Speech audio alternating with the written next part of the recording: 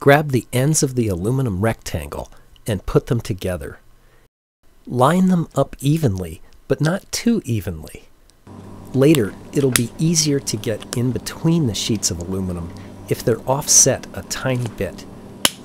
So make sure that a small sliver of silver, what was the inside of the can, shows on the end. Tape the ends together like that.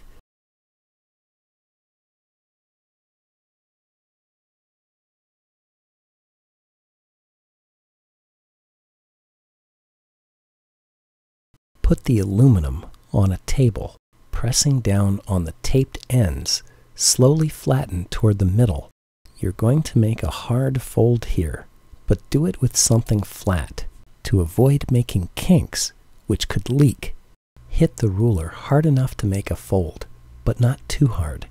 If you fold it too hard, it may split open like this in a later step.